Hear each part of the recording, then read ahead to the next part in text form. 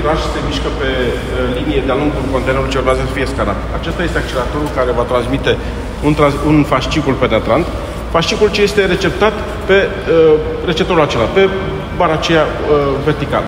Scannerul este singurul din dotarea autorității vamale române și funcționează aproape continuu de 17 ani. Verifică toate containerele selectate de specialiști în urma analizelor de risc, aproximativ 12.000 pe an. Cu ajutorul acestui aparat, vame și constanțeni au reușit să prindă și marile capturi de droguri din portul Constanța. Ultima a fost făcută în 2021, când aici, la bordul unui container, au fost descoperite 1,6 tone de heroină ascunse între plăci de piatră naturală. Asta este o imagine scanată unde se văd uh, zonele marcate sus, ca fiind suspecte la controlul prin scanare. Da? Asta este marea captură de... Da, au fost două containere cu piatră naturală ce veneau din uh, țările arabe. Acolo erau drogurile? Astea sunt drogurile, dar uitați-le, așa erau în piatră. Ion Ardelean lucrează la scannerul fix din portul Constanța Sudagigea de când acesta a fost pus în funcțiune, în 2006.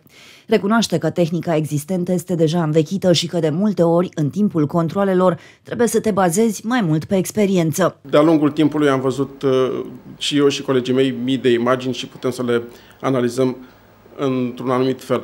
De asemenea, era evident diferența, evidentă diferența de densitate în anumite zone ale uh, încărcăturii, fapt ceea ce duce la uh, anumite concluzii, suspiciuni. Aproape 4500 de nave din toată lumea cu o capacitate de milioane de tone au ajuns anul trecut în portul Constanța.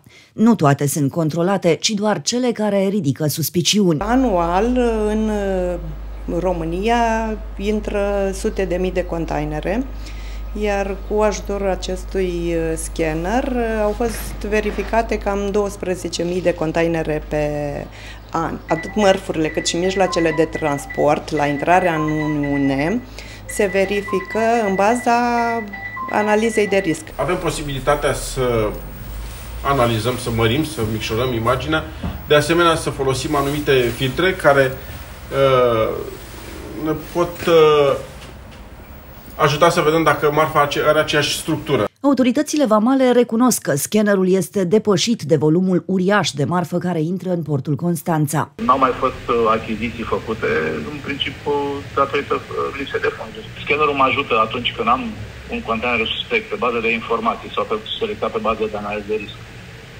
Da?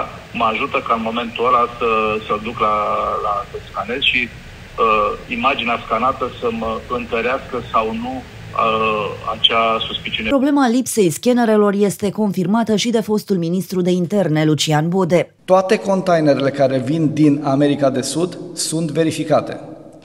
Absolut toate. Avem, într-adevăr, și trebuie să recunoaștem, o problemă.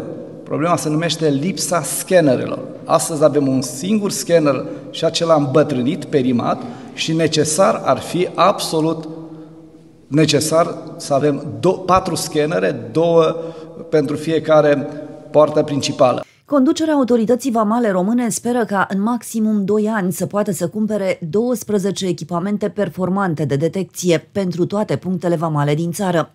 Două ar trebui să ajungă în portul Constanța. Până atunci însă vor apela la ajutor din partea unui operator privat care are în plan să inaugureze în această toamnă un aparat modern cu raze X pentru controlul containerelor, dar și la scannerul mobil din dotarea Poliției Transporturi Maritime.